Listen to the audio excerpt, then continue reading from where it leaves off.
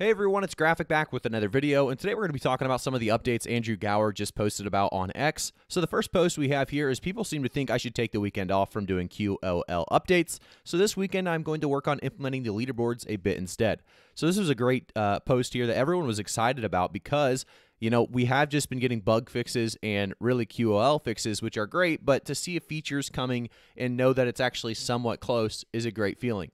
So I do want to talk about the biggest one though that happened today. It's not a crazy, crazy amount of stuff, but that does have some QOL fixes or QOL updates that are really going to help us. So make friends easier to spot by drawing their map icon, name, and outline in a different color. I think this is very nice. A lot of times you walk by them in the world and you don't even know it's them. Improve the appearance of combat flinches and make the flinch outline color indicate the damage kind.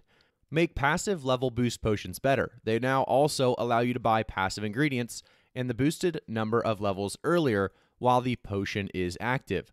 Yet, we also have an update about making yet more interfaces possible to close by clicking outside and by pressing the escape key. This is a big one, very helpful. I have had that uh, problem many times myself.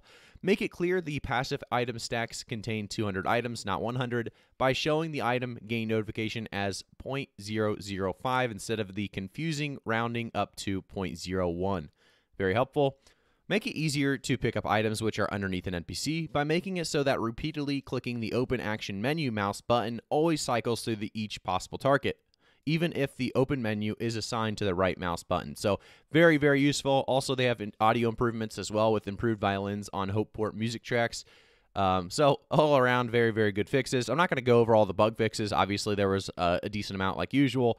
They fixed them up, um, but they're never too, too important to me. So these are some big stuff to note. And uh, I will say, guys, really Andrew Gower and the team is doing a great job with the very, very small team they do have with continuing to push out QOL fixes as well as having a big feature like leaderboards coming soon. So I'm excited. I'll keep you guys up to date on the game as well as updates coming. So if you haven't already, make sure to like the video, subscribe to the channel, and turn notifications on. I'll see you all in the next one.